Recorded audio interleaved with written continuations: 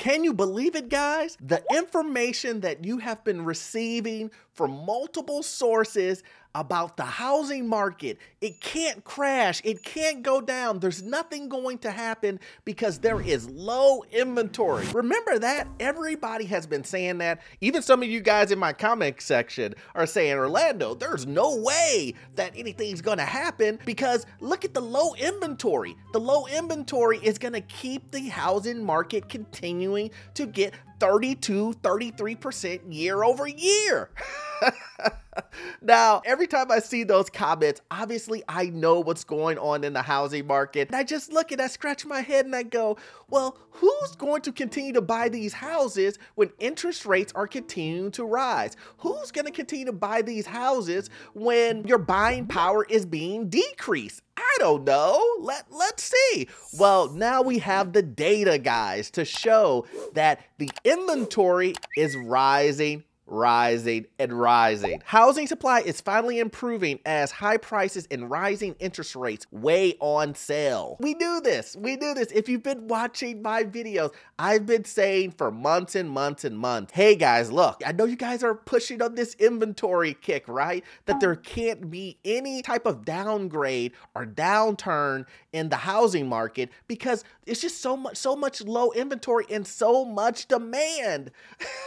but here's the question. Let's dive into why inventory is rising. It says one of the leanest housing markets in history might be putting on some fat. The supply of homes and sales could increase in the next few weeks, according to new data. In April, inventory was 12% lower than in the same month last year, the smallest year over year decline since the end of 2019. Another reading for just the last week in April shows inventory down only about 3% from a year ago. Come on, guys, it's rising. It is rising. The shift in supply is likely due to slower sales pace stemming from a recent rapid increase in mortgage rates, which have made expensive homes even pricier. The average rate on a 30-year fix has jumped more than 2.5% points since the start of the year. Now, here's the thing. What did we think was going to happen? When you have 60 to 70% of lower mortgage applications, that is a huge, significant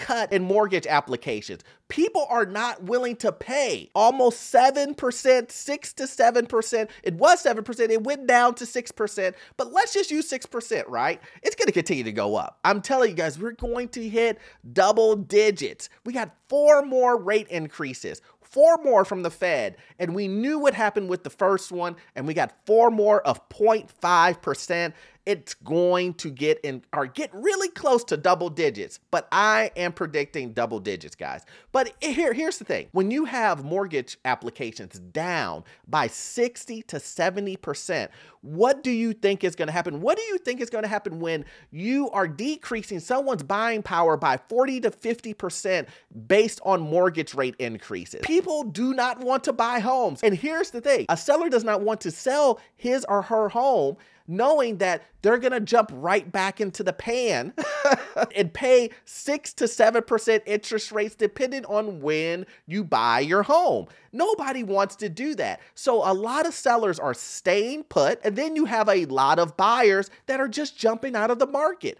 Hence, leaving a bunch of properties on the market is going to be slower purchasing, and then you're gonna start seeing these price cuts, which are already happening. New listings were down 0.9% in April compared with a year ago, and the number of active listings is down 67% from pre-pandemic levels. The growth in supply is being led by mid-sized family homes as fewer are going under contract despite being in the spring market, a popular time for families to shop for houses. This is prime buying time and inventory is rising. People aren't out there looking for homes because of the mortgage rate increases. Now let's look at this chart here. There's a chart here of housing inventory in April year over year change. And you can see, look, it's going up, up in January 19, and then we started going down, down, down. You see January 2021, and then you can see January 22. Look, we're up.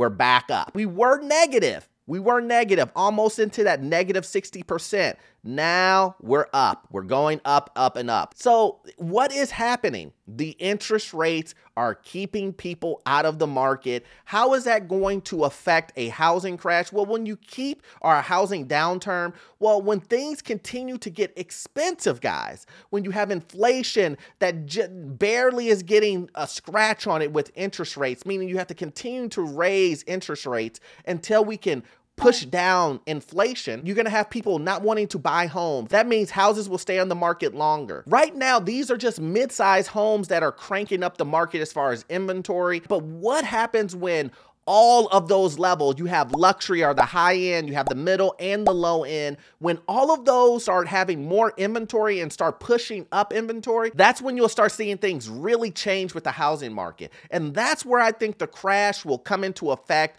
no one will want to get into it. Inventory will sit on the market for longer because remember guys, there will be some people who have to sell. Maybe they got a new job, what maybe they got XYZ, but they are going to sell and things will sit on the market longer and longer and longer. And once you hit all three tiers, low, middle, and high end, then that's where the trouble is. But also remember, as a homeowner currently, what options really do you have?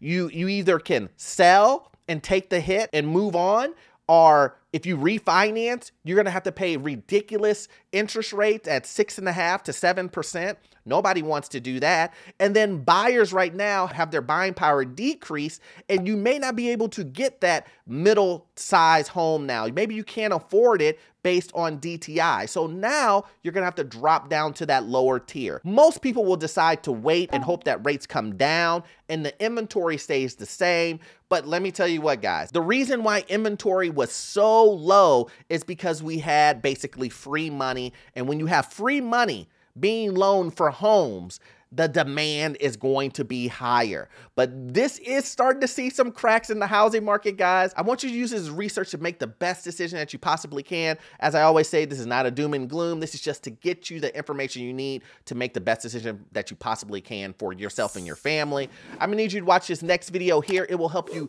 learn all about this crazy housing market and get into your first rental property. Check in the description below. I have a bunch of useful links of membership programs, get free credit reports and whatnot. See you on the next one. Thanks.